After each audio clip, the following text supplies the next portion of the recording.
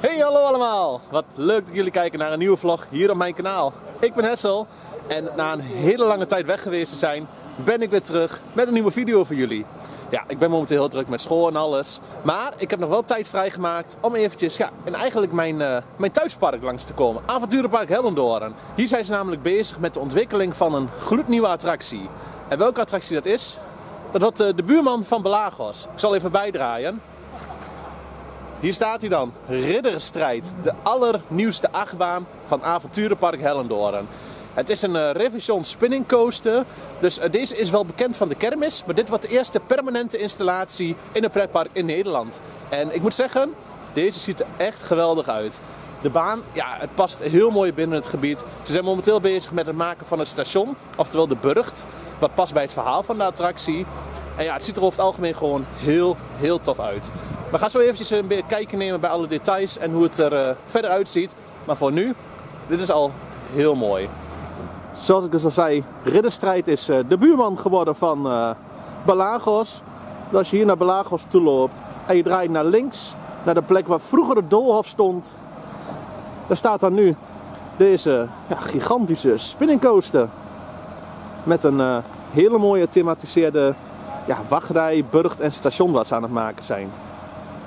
De achtbaan die Avonturenpark Hellendoorn hier neerzet is geen compleet nieuwe attractie. Deze attractie komt namelijk uit Mexico, waar die in een uh, pretpark uh, heeft gestaan genaamd La Feria Chapultec Magico. Ja, een hele moeilijke naam, dus ik moest er even bij halen. Maar ja, daar heeft hij dus eigenlijk een aantal jaren gedraaid. Daar is hij in 2019 verwijderd. Heeft Hellendoorn heeft hem uiteindelijk uh, ja, overgenomen. Heeft hem volledig laten reviseren door Van der Most. Wat eigenlijk ja, een bedrijf is hier in de buurt. Uh, ja, gespecialiseerd in het uh, opknappen van en vernieuwen van attracties. En uh, nu komt hij hier voor seizoen 2022 hier in Avonturenpark Hellendoorn. Nou zoals ik net zei, dit is een achtbaan van de fabrikant Reverson. Dat is dus een, een Franse achtbaanbouwer. En de lengte van deze baan is 420 meter. Hij wordt 13 meter hoog en hij haalt straks een snelheid van bijna 47 km per uur. Ja, het is eigenlijk een uh, ja, welbekende layout. Daar is het station. Ga je zeg maar een klein stukje langs uh, de weg. Dan ga je natuurlijk naar boven. Ja, kettinglift. Kettinglift naar 13 meter hoogte. Dan krijgen we eigenlijk een beetje de welbekende ja, zigzagbochtjes. En uiteindelijk val je dus ja, daarachter weer naar beneden. Ga je met een bocht naar links. En ga je uiteindelijk naar uh, ja, de grote drop. En met een uh, double up weer hier naar boven. En waarschijnlijk bij andere spinningcoasters word je hier losgelaten. En ga je lekker uh, spinnend de rest van de layout doen. Dan kom je uiteindelijk in het midden uit. Nog een kleine airtime heuvel. Dan ga je met een bocht naar links weer de remmen in. Nou, ze gaan nu een van de torens ja, op het station zetten. En dan wordt ja, hier ook weer een soort van hoogtepuntje afgetapt.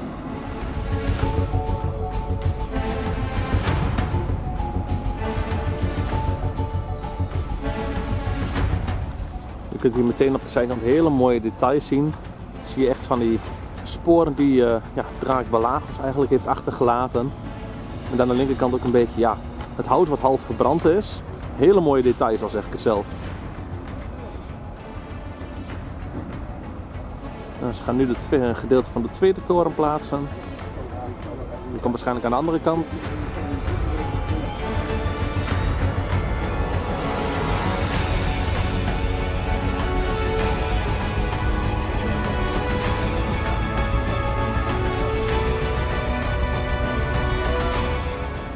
Er zitten zelfs uh, tandafdrukken in het fort. Waarbij Belagos zelfs een van zijn tanden is verloren. Een heel mooi detail.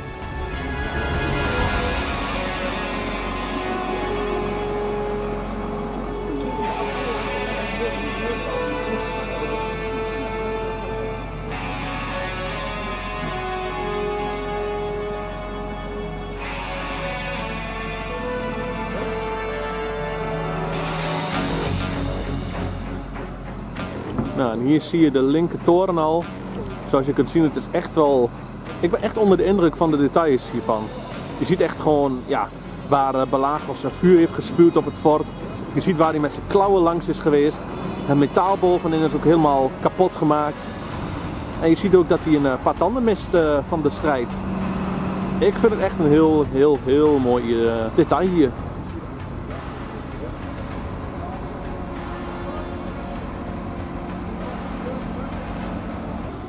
Ook op deze toren kun je zien dat Belagos weer flink wat schade heeft aangericht. Ja, het is echt heel mooi hoe Hellendoorn ervoor heeft gekozen om die metalen strips te verbuigen. Waardoor, ja, waardoor het echt lijkt alsof er gewoon een flinke strijd bezig is geweest hier. En ook aan de rechterkant mist hij weer een paar tanden en heeft hij wat klauwensporen achtergelaten. Ja, ik ben fan, ik vind het mooi. En vanaf hier kun je dan eigenlijk een heel mooi uh, ja, totaalshot zien van de, de burcht. Zo, zoals ik net al zei, het ziet er echt heel tof uit. Het is heel, ja, best wel groot. 8 meter hoog zijn die uh, torens uh, straks uiteindelijk. En uh, ja, het, wordt een hele mooie, ja, een gethematiseerd dorpspleintje-achtig iets. Met een, ja, een stukje binnenwachtrij, wat ik net hoorde, ongeveer 20 meter binnenwachtrij en 40 meter buitenwachtrij.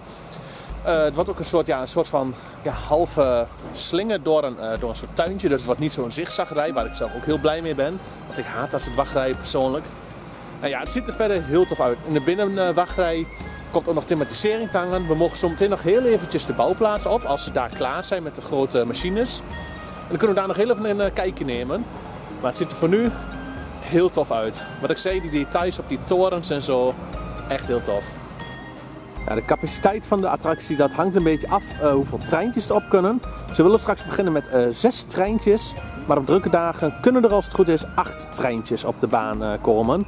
Dus acht uh, karretjes met vier personen. En uh, dat moet dan uh, ja, leiden tot een maximale capaciteit van 650 personen per uur ongeveer. En dat moet ik zeggen, dat is een hele nette capaciteit. Zeker voor zo'n park als. Ja, zeg maar, de, onder de baan zie je natuurlijk nu nog wel een beetje de voeten. je ziet nog wel dat hij op een soort van platen staat, op een soort van deringen. Maar dit wordt als het goed is nog weggewerkt met een soort van ja, siersteentjes. En dan heb je ook een hele mooie ondergrond voor de baan. Nou, bovenop de torens uh, zijn ze nog niet klaar. Er komt nog een soort van uh, ja, de piramideconstructie op. Waardoor het uh, ja, helemaal af is straks. Want dat wordt dan het hoogste punt van de burcht. Dus de, de sporen van die strijd zijn nog zichtbaar. Een aantal tanden verloren. Die tanden kun je ook weer zien bij de lagers aan de andere kant. Nou, dan kom je via hier kom je dan naar binnen. En dan ga je dan richting het station. Dan komt hier dus nog één stukje dat je eigenlijk uh, kan slingeren. En dan ga je via hier eigenlijk uh, ja, naar het uh, station. Een klein trapje zodat je natuurlijk op gelijk level zit met het perron. Nou, ik sta nu eventjes achter het station. Hier komt dus eigenlijk de hele overdekte wachtrij. Ga je dus die kant op. En dan ga je deze kant op en dan kom je hier omhoog.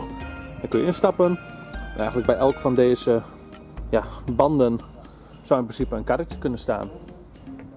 Verder wordt hier in de wachtrij ook nog het verhaal van de attractie duidelijk gemaakt. Ja, het verhaal is heel kort eventjes over vier ridders die dus um, de strijd aangaan met Balagos. Uh, wat ze dus doen door middel van een houten stellage. En met hun luchtstrijdwagens gaan ze dus op pad om uh, de draak Balagos te verslaan. En die, uh, ja, die luchtstrijdwagens, dat zijn natuurlijk dan de karretjes. En die houten stellage, dat is ja, de achtbaan, de ridderstrijd zelf. Dus eigenlijk, ja, het lijkt op een soort van houten uh, constructie. Daarom is er ook voor gekozen voor twee verschillende tinten bruin. En uh, ja, het verhaal van die strijd, dat kom je dus te weten in de wachtrij, inclusief de namen van de ridders. Maar het komt ook terug in de muziek. In de buitenwachtrij wordt de muziek een beetje lichtelijk uh, spanningsopbouwend. Dus nog wel ja, een, beetje, een beetje spannend. Maar in de binnenwachtrij zelf wordt de muziek een stuk ja, intenser, wordt het iets heftiger. Waardoor je echt ja, een beetje die spanning krijgt. En ik moet zeggen, ik, ik zie het al helemaal voor me. Ik heb er heel veel zin in in deze baan. Ik, uh, ik ben fan. Gewoon hoe het er helemaal bij staat. Ben ik in ieder geval heel benieuwd naar het eindresultaat. Het is even heel tof. We mogen eventjes ja, echt letterlijk onder, ja, onder de baan even staan. We mogen even een kijkje nemen. Ja, hier zie je eigenlijk het laatste heuveltje met de achter eh, de laatste bocht.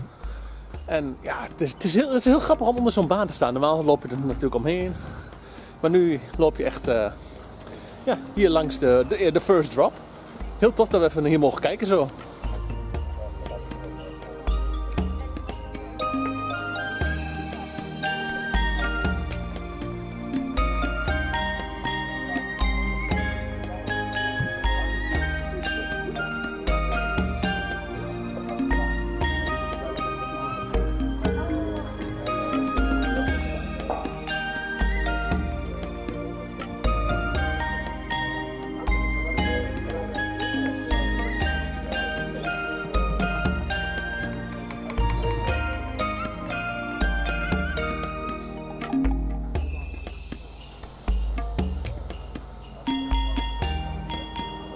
Dit is natuurlijk wel even leuk. Het voordeel van dat je op zo'n bouwplaats tour bent. Steek gewoon even lekker je hoofd tussen de rails door. Kan gewoon. Nou ja, eigenlijk zijn het in principe allemaal pretparkfans die hier zijn. Met uh, ja, tv-hosts er nog bij. Maar ja, het is gewoon. Uh, ja, het is altijd wel leuk dat je dat zeg maar gewoon. Kunt zeggen, nou, ik stop even mijn hoofd tussen de. Kan gewoon. Gelukkig maar dat die karretjes er nog niet op staan. nou, nadat je zeg maar, je rit hebt gehad, kom je hier de remmen in. Dan komt hier dat systeem waarbij het karretje zeg maar, weer recht gedraaid wordt. En dan kun je recht uh, het station in. Dan kun je hier uitstappen naar de uitgang. En dan uh, ja, kun je weer uh, opnieuw in de rij gaan staan. Hier komt trouwens ook de, de switch track. Deze gaat dus hier het gebouw in. En dan gaat de railtje gaat hier verder. En dan kunnen ze hier eventueel onderhoud plegen. Terwijl de attractie gewoon in bedrijf is. Normaal zit namelijk de switch track hier in het midden. En gaat hij zeg maar nog hier een stukje langs. Maar hier hebben ze ervoor gekozen om het overdekt te doen. Wat ik eerlijk gezegd wel een hele goede keuze vind. Deze attractie krijgt ook een speciale minder valide ingang. Ik weet nog niet precies waar die komt. Ik denk zelf persoonlijk in ieder geval ergens aan die kant. Maar dan uh, kun je, ja, als je een minder valide pas hebt, of een eventueel een Audi pas, of een, uh, in ieder geval iets waarmee je via de uitgang mag, dan kun je de wachtrij overslaan via een speciale minder valide ingang. Zo, en dan komen we hier op het einde van ja, de bouwplaatsrondleiding over ridderstrijd. Ik moet zeggen, ik ben enorm te, ja, echt te spreken over deze ja, nieuwe attractie. Het ziet er heel tof uit. De, de hele baan is gewoon heel mooi. Het is eigenlijk niet meer te herkennen van wat het eerst was. Vooral die burg die hiervoor staat is echt prachtig.